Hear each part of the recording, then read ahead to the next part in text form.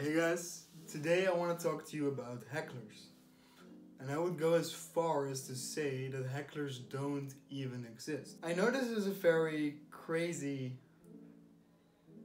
accusation to say hecklers don't exist, while a lot of us even had a lot of hecklers against them. And before we go into this, there are a few things you have to understand. First of all, I'll be making this video on a close-up situation. This is when you're going from table to table, you're hired at a gig, or you're just outside chilling with some people at a bar, and you're going over to people to show them some magic. For a situation on stage, which is entirely different, Alvaro will be making another video. Now, why do hecklers not exist? The reason is because I think we very often mislabel people as a heckler. Someone wants to shuffle our cards, they want to pick a card in a different way, and we say, Oh, they're heckling us, they're, they're creating a difficult situation for us which we cannot solve. Which I think is just not true, you know? They're not really heckling us, they're more challenging us. They want to see our ability as a magician, and they want to see how good we really are. So they'll give us challenges. They they want to make it even better because in some way they believe in you. They believe you can do it.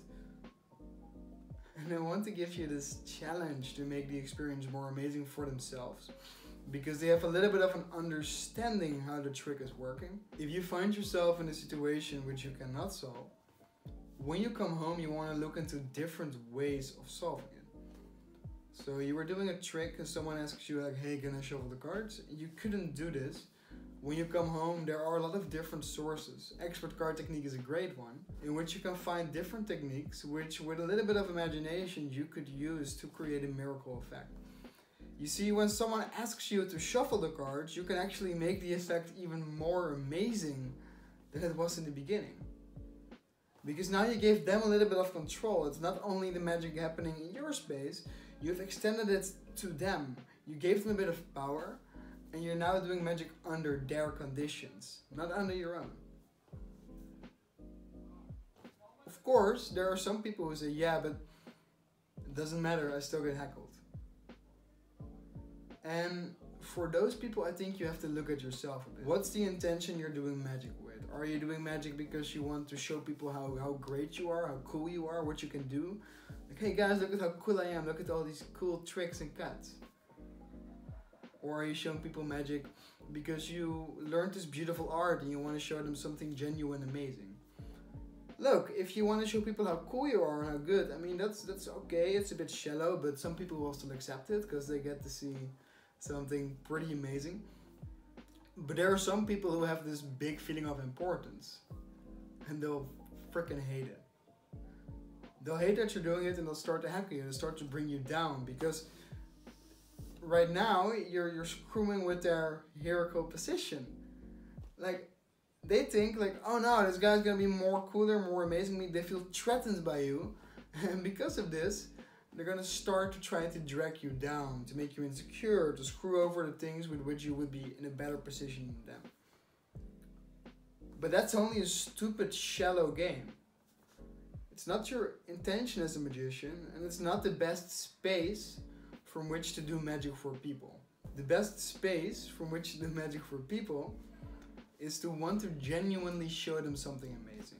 I worked on this beautiful thing, this beautiful art, and I want to share this with you. I want to show you something incredible which you cannot see anywhere else. At that point, you're sharing. You're sharing with people this beautiful experience instead of taking status from them. Sharing opinion is not only much better, it opens up people for greater magic, it also opens up their mind, makes them feel more safe, and they feel more willing to receive good magic, to give you a bit of control, to take them into this wonderful world. So I want to suggest everyone to look within yourself first. Look with what intention you're doing magic and how you're doing it. And then start to blame other people. Because I cannot imagine why some people never have hecklers and others have them every show or few just know that when you're doing magic from this space of sharing, if someone is really heckling you, usually his, even his friends will tell him to shut up because he's ruining something very special and entertaining for them. I hope this was useful to you guys. Rico is signing out.